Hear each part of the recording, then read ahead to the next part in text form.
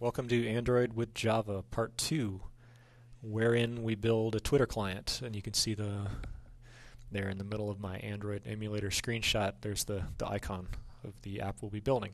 So this is part two. The first part was developing Android applications with Java, and as Beth said, you can get that on O'Reilly, but I wanted to go over um, a little bit of what we talked about in the first part. So if anybody hasn't yet bought that, you can kind of get an idea of what's in there.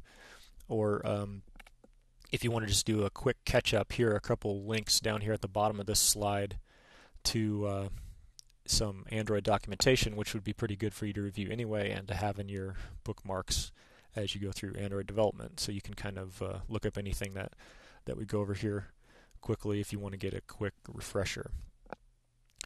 So we it, it, was set up pretty much like this this class is going to be set up. We went through five weeks of of building a task manager application for Android, which is a nice simple uh, application that would let you store a list of tasks and kind of check those tasks off, off as you get done with them. And then we made it more interesting as we went along by adding things like location so that you could put a location or an address on a task and then at the in the final class we we set up to uh, um, let let the uh, the device filter all the tasks that it knew about by act by the uh, nearness by the proximity of, of the task to where the device was currently at.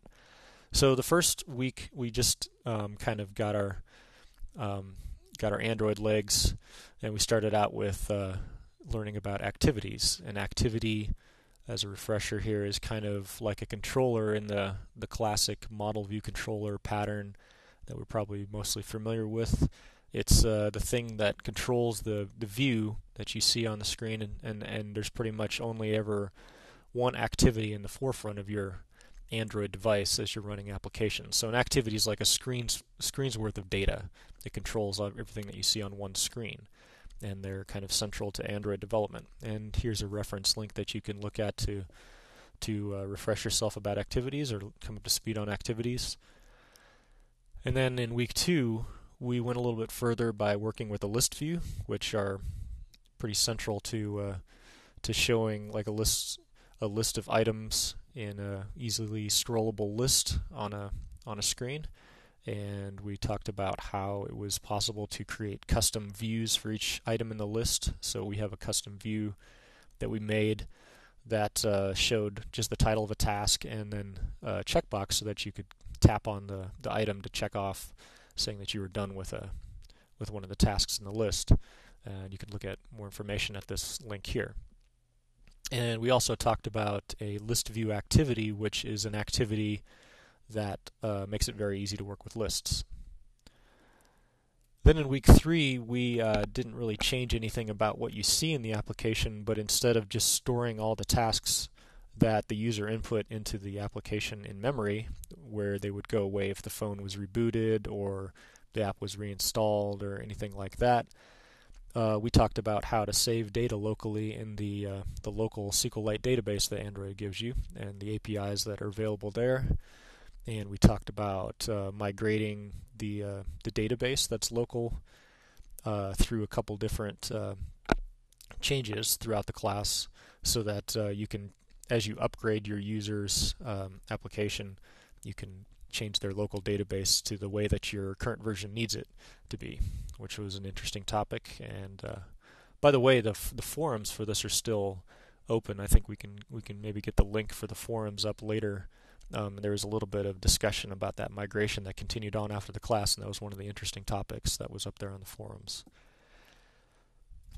Then in week three, we started to get into more interesting, at least to the eyes, um, parts of the Android SDK, and showing a map makes this look a little bit more like an interesting application without much of a development cost. It's pretty easy to work with maps in Android.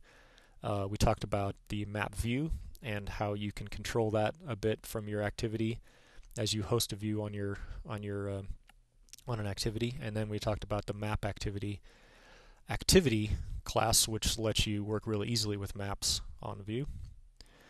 And we uh, did things like put an annotation, that little red dot on a map, our own little custom view which shows a certain location on the map. and we work with the Android APIs for location and addresses to look up a certain address that you could then attach to a task. And then in week five, uh, we went on to actually finding the location of the device as the device reports it, and um, and then we went on to filter all the all the tasks that the the task manager currently knew about to uh, just show the ones that were close so that you could go and work on finishing whatever task you wanted to finish that was close to you right now.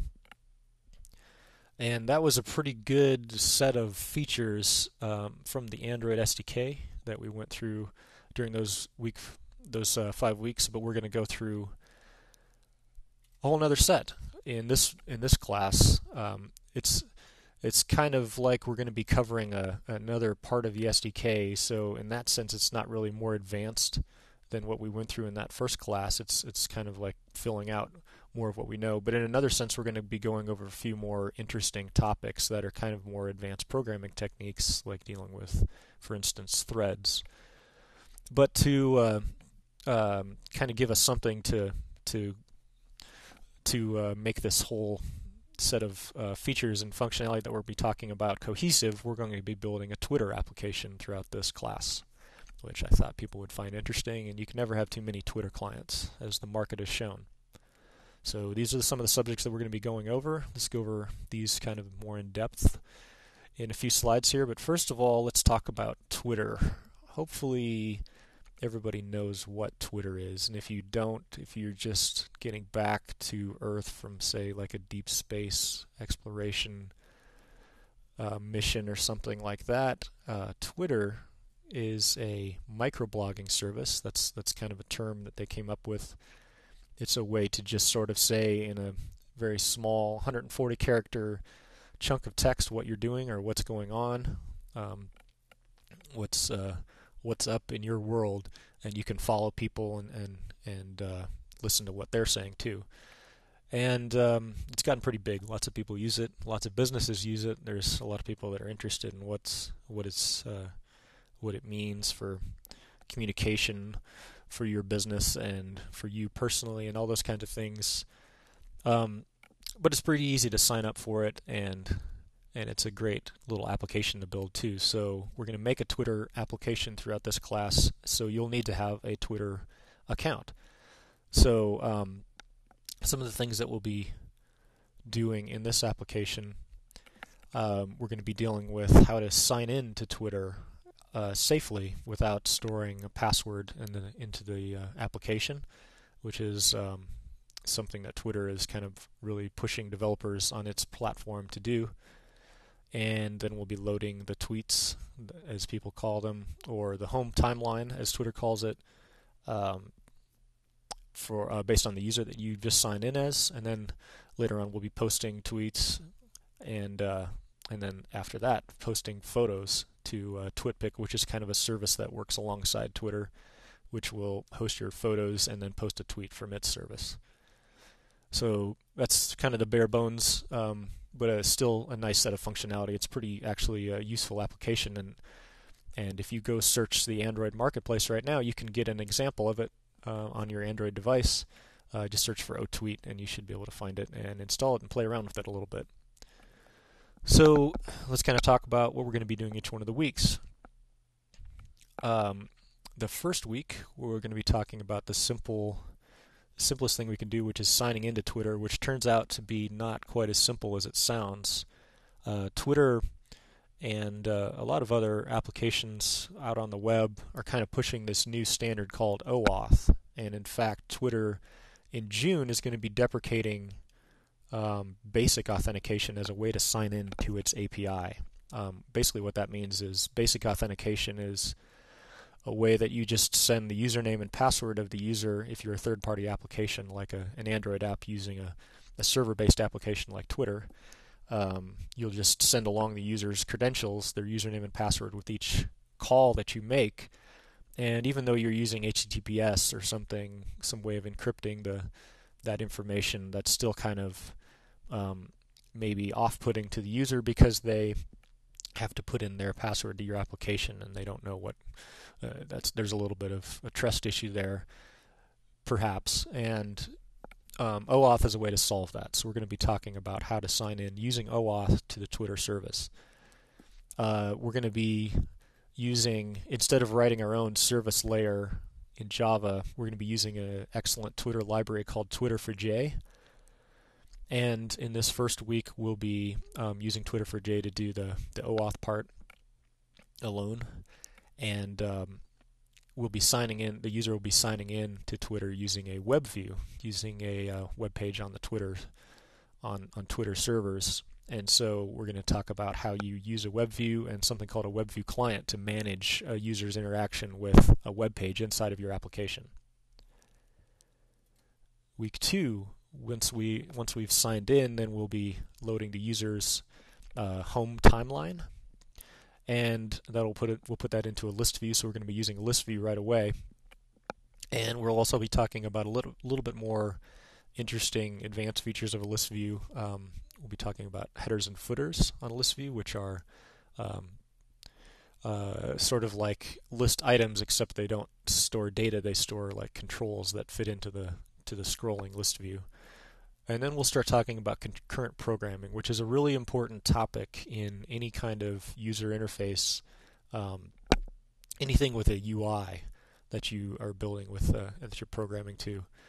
Um, because um, well, well, we'll talk about that more. But basically, the user experience can degrade fairly quickly if you're not doing important long-running applications on threads. So we'll be talking about how to do that in Android development.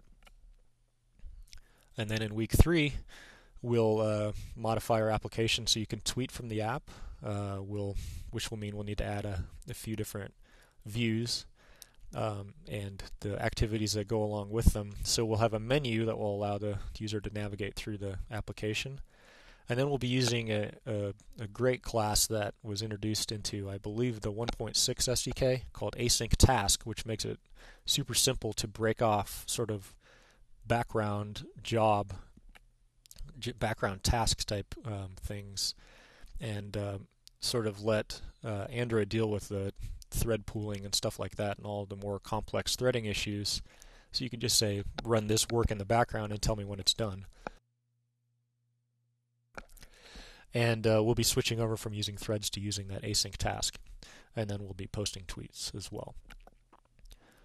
Then in week four, we'll start to make the app look nice, which is harder than it looks in Android development. There's things that are a little bit different than you expect. It's not it's not like um, any other um, styling that you've done, most likely.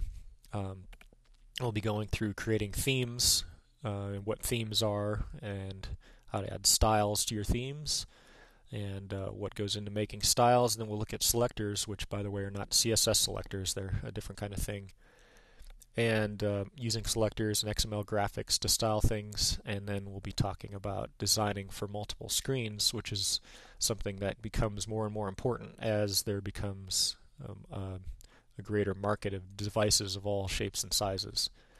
So that'll be some interesting stuff. And then in week five, we'll be using uh, the uh, TwitPic4j library to make it easy for us to post pictures to the twitpic.com service.